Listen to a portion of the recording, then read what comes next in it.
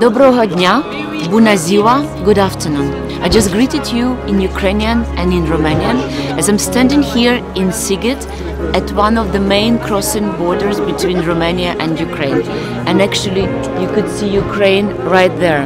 And between Ukrainian and Romanian border, there is a bridge on both sides of that bridge, there are toys for the Ukrainian children who are crossing the border, and every day Romanian volunteers are bringing new toys to meet Ukrainian children. The most vulnerable families with children, they cross the border by foot. And once they cross the border, they go straight to the Blue Dot Center.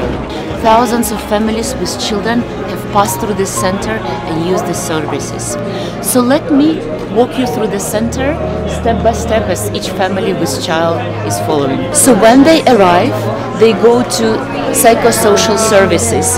Then there are four points of registration and each of these points offers the same services help and registration accommodation transport uh, legal services and information Cuckoo. I was just opening and somebody took my hand you know we were talking to the family with, with mother with two children and one of the, the smallest son had birthday today.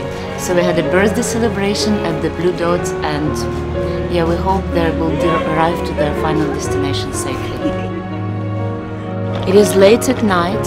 It has been a long day. You could see the blue dot center is still open.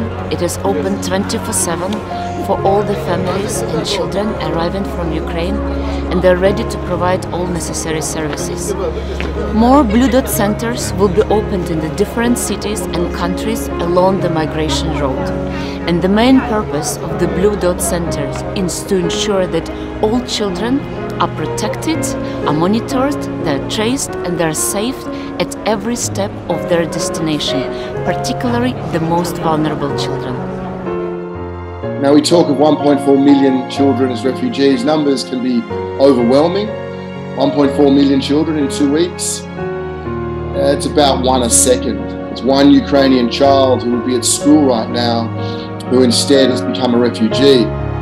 One a second. And across the border, well, 2.8 million refugees across this border, 1.4 million children, as we say, one a second. So we're seeing an, an influx that is unprecedented uh, in Europe since World War II. And then you see UNICEF responding to that